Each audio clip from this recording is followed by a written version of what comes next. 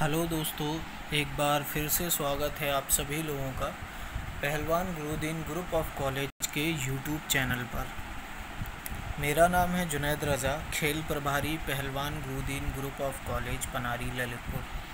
आज मैं फिर से एक बार आप लोग सभी लोगों के लिए लेकर आया हूँ स्पोर्ट्स जीके की बहुत महत्वपूर्ण वीडियो, जो कि आपको यूज़फुल होगी। Physical education U P T G T P G T K V S N V S D triple S B या अन्य किसी भी स्टेट की फ़िज़िकल एजुकेशन की एग्ज़ाम के लिए। साथ ही साथ ये वीडियो उन लोगों के लिए भी उपयोगी है जो तैयारी कर रहे हैं SSC railway TET C TET या ऐसी किसी एग्ज़ाम की जिसमें जीएस पोर्शन आता हो। क्योंकि जीएस पोर्शन के अंतर्गत एक छोटा सा टॉपिक होता है स्पोर्ट्स यानी कि खेल। जिससे दो से तीन क्वेश्चन लगभग हर एग्ज़ाम में पूछे जाते हैं। तो ऐसे बच्चों के लिए भी ये वीडियो काफ़ी इम्पोर्टेंट है। तो आइए शुरू करते हैं आज की इस वीडियो को और ये रहा आज की वीडियो का पहला क्वेश्चन तीन हज़ार मीटर स्टीपल चेस में पानी की छलांग को छोड़कर और बाधाओं की संख्या कितनी होती है? यानी पानी की छलांग जो स्टीपल चेस में होती है, उनको छोड़ दिया जाए तो बची हुई जो बाधाएँ हैं, उनकी संख्या हमें बतानी है। तो इसके लिए चार ऑप्शन आप लोगों के स्क्रीन पर दिख रहे होंगे। पहला ऑप्शन है बत्तीस, यानी कि थर्टी टू दूसरा ऑप्शन है छत्तीस, यानी कि थर्टी सिक्स और तीसरा ऑप्शन है अट्ठाईस, यानी कि ट्वेंटी एट और चौथा ऑप्शन है ट्वेंटी फोर यानी कि चौबीस। और इसका जो सही आंसर है, वो है ऑप्शन नंबर सी यानी कि ट्वेंटी एट बाधाएँ होती हैं अगर पानी की बात पानी की छलांगों को छोड़ दिया जाए तो। अगले क्वेश्चन की तरफ़ बढ़ते हैं। हमारा अगला क्वेश्चन है, सौ मीटर महिलाओं की हडल्स, यानी कि बाधा, दौड़ में हडल्स की ऊंचाई कितनी होती है? बाधा की ऊंचाई हमें बताना है, सौ मीटर महिलाओं के लिए कितनी होती है? तो चार ऑप्शन है आप लोगों के सामने। पहला ऑप्शन है zero point eight four zero metre. दूसरा ऑप्शन है zero point seven six two metre. तीसरा पॉइंट है zero point nine one four metre और चौथा है एक मीटर, यानी कि वन मीटर। और इसका जो सही आंसर है, वो है ऑप्शन नंबर ए, यानी कि zero point eight four zero metre. महिलाओं के लिए हडल्स की ऊंचाई होती है। आगे बढ़ते हैं अपने नेक्स्ट क्वेश्चन की तरफ़। हमारा नेक्स्ट क्वेश्चन है, एथलेटिक्स में पुरुषों के लिए क्रॉस कंट्री प्रतियोगिता की दूरी कितनी होती है? चार ऑप्शन है। पहला ऑप्शन है सोलह किलोमीटर, दूसरा बारह किलोमीटर, तीसरा पंद्रह किलोमीटर और चौथा पच्चीस किलोमीटर। और इसका जो सही आंसर है वो है बारह किलोमीटर। और जानकारी के मुताबिक ये पता चला है कि अब ये घटाकर दस किलोमीटर कर दी गई है। तो आप लोग याद रखिएगा इस चीज़ को भी। आगे चलते हैं अगले क्वेश्चन की तरफ़। हेप्टाथिलन प्रतियोगिता कितने दिन में पूरी की जाती है? चार ऑप्शन है, पहला ऑप्शन है एक दिन, दूसरा ऑप्शन है तीन दिन, तीसरा ऑप्शन है दो दिन और चौथा ऑप्शन है चार दिन। और इसका जो सही आंसर है वो है ऑप्शन नंबर सी, यानी कि दो दिन में हेप्टाथलिन प्रतियोगिता पूरी की जाती है। कुछ इवेंट पहले दिन होते हैं, कुछ इवेंट दूसरे दिन होते हैं। नेक्स्ट क्वेश्चन की तरफ़ हम लोग चलते हैं। 110 मीटर प्रोस हेडल्स में हेडल्स की ऊंचाई होती है। यानी पुरुषों के लिए हेडल्स की ऊंचाई यानी बाधा की ऊंचाई कितनी होती है, ये बताना है। पहला है zero point eight four metre दूसरा ऑप्शन है zero point nine one four metre तीसरा ऑप्शन है one point zero six seven metre और चौथा ऑप्शन है zero point seven six two metre और इसका जो सही आंसर है option number C one point zero six seven metre athletics में पुरुषों के लिए हेडल्स की 110 मीटर रेस में ऊंचाई होती है। आगे चलते हैं हमारे नेक्स्ट क्वेश्चन की तरफ़। नेक्स्ट क्वेश्चन है, डेड वॉल शब्द का प्रयोग किस खेल में होता है? डेड बॉल जो है यहाँ पे वा लिखा हुआ है, प्रिंटिंग मिस्टेक है, बा होना चाहिए, डेड बॉल। ठीक है, डेड बॉल चार ऑप्शन है, पहला है फुटबॉल, दूसरा है हॉकी, तीसरा ऑप्शन है क्रिकेट चौथा ऑप्शन है पोलो आई एम श्योर ये क्वेश्चन का आंसर आप लोगों को ऑलरेडी पता होगा, फिर भी मैं बता देता हूँ, इसका आंसर है ऑप्शन नंबर सी क्रिकेट में डेड बॉल शब्द का प्रयोग होता है. अगले क्वेश्चन की तरफ़ हम लोग चलते हैं. रिले रेस में प्रयोग में आने वाले बैटन की लंबाई होती है. बैटन जो एक आप लोगों ने देखा होगा, गोल सा प्लास्टिक का डंडा होता है, छोटा सा।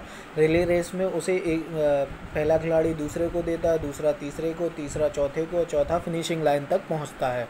तो उसकी लंबाई पूछी गई है।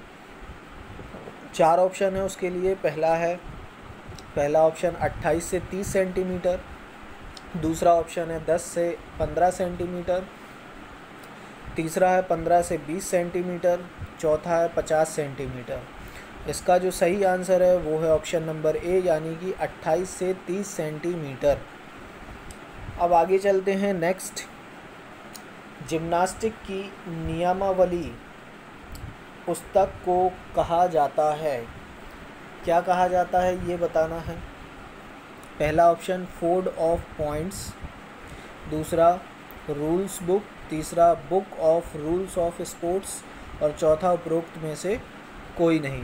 और इसका जो सही आंसर है, वो है ऑप्शन नंबर ए, यानी कि फोर्ड ऑफ़ पॉइंट्स कहा जाता है जिम्नास्टिक की नियमावली पुस्तक को।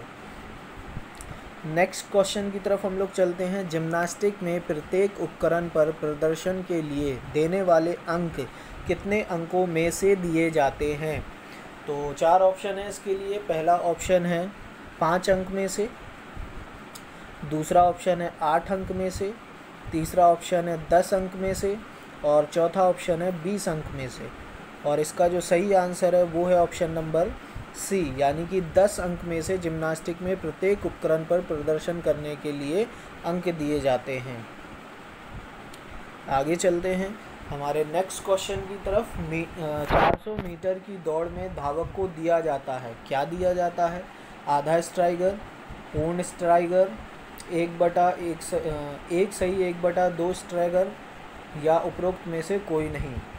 इसका जो सही आंसर है वो है ऑप्शन नंबर बी यानी कि पूर्ण स्ट्राइगर दिया जाता है। आधा स्ट्राइगर आप लोग याद रखें 200 मीटर की दौड़ में दिया जाता है। ये 200 मीटर वाला भी क्वेश्चन जो है वो आता रहता है इसलिए आप लोग दोनों दोनों याद रखें। 200 मीटर में आधा स्ट्राइगर दिया जाता है और 400 मीटर की जो रेस होती है उसमें अगर 400 मीटर का ग्राउंड है तो 400 मीटर की अगर जो रेस होती है, उसमें पूर्ण स्ट्राइगर दिया जाता है। नेक्स्ट क्वेश्चन देखते हैं। ऊँची कूद प्रतियोगिता में प्रथम प्रयास में खिलाड़ी द्वारा किसी ऊंचाई पर कूदने में मना करने के पश्चात पुनः उसी ऊंचाई पर कूदने का अनुरोध करने पर, यानी कि बेसिकली अगर आप हाई जंप कर रहे हैं और आपने किसी डिस्टेंस पर लगा हुआ है, आपको वहाँ से कूदना है, आपने पहले मना कर दिया और फिर बाद में आप कहने लगे कि मुझे इसी ऊंचाई पर कूदना है तो फिर आपके लिए क्या निर्णय होगा, ये पूछा है बेसिकली इस क्वेश्चन में। ऑप्शन देख लेते हैं, कूदने की पात्रता से वंचित कर दिया जाएगा, पहला ऑप्शन दूसरा ऑप्शन है, पुनः उसी ऊंचाई पर कूदने का मौका दिया जाएगा। तीसरा ऑप्शन अगली बढ़ी हुई ऊंचाई पर खेलने का मौका दिया जाएगा। और चौथा है रेफरी के स्वविवेक पर निर्भर होगा। इसका जो सही आंसर है वो है ऑप्शन नंबर सी कि अगर आप एक बार मना कर दिए कर दोगे आ, किसी ऊंचाई को नाकने से और फिर आपको अगर ऊंचाई मतलब अगर उसमें पार्टिसिपेट करना है तो जो उस टाइम बढ़ चुकी होगी ऊंचाई उसमें आपको प्रतिभाग करने दिया जाएगा अन्यथा उसी वापस पुरानी ऊंचाई पर आपको कूदने नहीं दिया जाएगा एक बार मना करने के बाद। नेक्स्ट क्वेश्चन की तरफ़ हम लोग चलते हैं। हमारा नेक्स्ट क्वेश्चन है। भारत की सबसे पुरानी फुटबॉल प्रतियोगिता डूरंड कब प्रारंभ प्रथम बार किस वर्ष कराई गई? भारत की सबसे पुरानी फुटबॉल प्रतियोगिता डूरंड कप प्रथम बार किस वर्ष कराई गई? तो चार ऑप्शन है। पहला ऑप्शन है 1900 सॉरी 1835 दूसरा 1840 तीसरा 1880 और चौथा अठारह सौ अठारह अठासी। और इसका जो सही आंसर है वो यही है, ऑप्शन नंबर डी 1886 यानी कि अठारह सौ अठासी। अगले क्वेश्चन की तरफ़ हम लोग चलते हैं। अगला क्वेश्चन हमारा है डूरन कप प्रतियोगिता कहाँ कराई जाती है? चार ऑप्शन है, पहला है भोपाल में, दूसरा है दिल्ली में, तीसरा है मुंबई में, चौथा है चेन्नई में। और इसका जो सही आंसर है वो है ऑप्शन नंबर बी। यानी कि दिल्ली में डूरन कप प्रतियोगिता आयोजित की जाती है। नेक्स्ट क्वेश्चन की तरफ़ हम लोग चलते हैं। नेक्स्ट क्वेश्चन हमारा है, रावर्स कप प्रतियोगिता कब प्रारंभ की गई? चार ऑप्शन है आप लोगों के सामने। पहला है अठारह सौ नब्बे ईस्वी में, दूसरा अठारह सौ इक्यानवे में, तीसरा अठारह सौ बानवे में, चौथा है अठारह सौ तिरानवे में। इसका जो सही आंसर है, वो है ऑप्शन नंबर बी, यानी कि अठारह सौ इक्यानवे में रॉवर्स कप प्रतियोगिता आरंभ हो चुकी थी। नेक्स्ट क्वेश्चन की तरफ़ हम लोग चलते हैं। नेक्स्ट क्वेश्चन हमारा है, आई एफ़ ए शील्ड प्रतियोगिता कब से आयोजित की जा रही है? चार ऑप्शन आप लोगों के सामने हैं। पहला ऑप्शन है, अठारह सौ बानवे ईस्वी में, अठारह सौ तिरानवे ईस्वी में, अठारह सौ चौवन ईस्वी में और अठारह सौ पंचानवे ईस्वी में। और इसका जो सही आंसर है, वो है ऑप्शन नंबर बी, यानी कि अठारह सौ तिरानवे ईस्वी में आई एफ़ ए शील्ड प्रतियोगिता आयोजित की जा रही है। नेक्स्ट क्वेश्चन की तरफ़ हम लोग चलते हैं। नेक्स्ट क्वेश्चन हमारा है, government college of physical education Hyderabad, दक्षिण की स्थापना कब हुई? यानी कि हैदराबाद में जो दक्षिण में गवर्नमेंट और कॉलेज ऑफ़ फ़िज़िकल एजुकेशन है, उसकी स्थापना कब हुई, ये हमें बताना है। पहला ऑप्शन है 1930 में, दूसरा 1931 में, तीसरा 1932 में और चौथा है 1933 में। और इसका जो सही आंसर है, वो है ऑप्शन नंबर बी। यानी कि 1931 में government college of physical education Hyderabad दक्षिण की स्थापना की गई थी। नेक्स्ट क्वेश्चन की तरफ़ हम लोग बढ़ते हैं। नेक्स्ट क्वेश्चन हमारा है। The government training institute for physical education society की स्थापना कब हुई? चार ऑप्शन है आप लोगों के सामने दिए हुए। वर्ष 1935 वर्ष 1936 वर्ष 1938 वर्ष 1940 और इसका जो सही आंसर है, वो है ऑप्शन नंबर बी यानी कि वर्ष 1936 अगले क्वेश्चन की तरफ़ हम लोग बढ़ते हैं। अगला क्वेश्चन हमारा है, बहुत इम्पोर्टेंट है ये, श्री हनुमान व्यायाम प्रसारण। मंडल अमरावती की स्थापना, दो वैद्य भाइयों पंडित अम्बादास पंथ और अनंत के वैज्ञ ने इस वर्ष की। तो आप लोगों को बताना है कि कब की, चार ऑप्शन है, वर्ष 1912 वर्ष 1913 वर्ष 1914 वर्ष 1915 तो इसका जो सही आंसर है, वो है ऑप्शन नंबर सी, वर्ष 1914 में श्री हनुमान व्यायाम प्रसारण मंडल की स्थापना की गई थी। दो भाइयों के द्वारा। नेक्स्ट क्वेश्चन की तरफ़ हम लोग चलते हैं। केंद्र सरकार द्वारा all India council of sports की स्थापना कब की गई? चार ऑप्शन है। पहला ऑप्शन, वर्ष उन्नीस सौ चौवन। दूसरा है, वर्ष 1955 तीसरा है, वर्ष 1956 चौथा है वर्ष उन्नीस सौ सत्तावन। और इसका ऑप्शन है ऑप्शन नंबर ए वर्ष उन्नीस सौ चौवन। आगे चलते हैं नेक्स्ट क्वेश्चन की तरफ़। नेक्स्ट क्वेश्चन हमारा है, शारीरिक शिक्षा परामर्श board advisory board of physical education की स्थापना का उद्देश्य है। क्या उद्देश्य है? ये हमें बताना है। पहला, शारीरिक शिक्षा का, शारीरिक शिक्षा को होना चाहिए यहाँ पर। को लोकप्रिय बनाना, दूसरा खेल संघ का निर्माण करना, तीसरा राष्ट्रीय खेल को संचालित करना, चौथा उपरोक्त सभी। और इसका जो सही आंसर है, वो है ऑप्शन नंबर ए, यानी कि शारीरिक शारीरिक शिक्षा परामर्श बोर्ड का जो उद्देश्य है, वो है शारीरिक शिक्षा को लोकप्रिय बनाना। आई होप दोस्तों ये वीडियो आपको अच्छी लगी हो।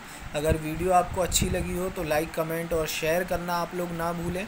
और ये वीडियो अगर आप Pahalwan Gurudin group of college के यूट्यूब चैनल पर देख रहे हैं तो हमारे Pahalwan Gurudin group of college के यूट्यूब चैनल को आप लाइक कर लीजिए सब्सक्राइब कर लीजिए, और साथ ही साथ बेल आइकन को प्रेस कर दीजिए, ताकि जैसे भी नई वीडियो अपलोड हो तो आपको तुरंत ये वीडियो देखने के लिए मिल जाए।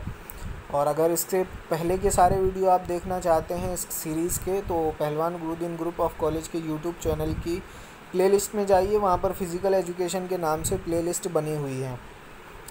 अगर आप Pahalwan Gurudeen group of college में किसी भी क्षेत्र में एडमिशन लेना चाहते हैं तो आपके मोबाइल स्क्रीन पर जो नंबर शो हो रहा है, उस नंबर पर कॉल करके आप अपनी एडमिशन प्रक्रिया की जो भी जानकारी चाहते हैं एडमिशन के संबंधित वो जानकारी आप ले सकते हैं। मिलते हैं दोस्तों अगले वीडियो में, तब तक के लिए सेफ़ रहिए, खुश रहिए have a nice day bye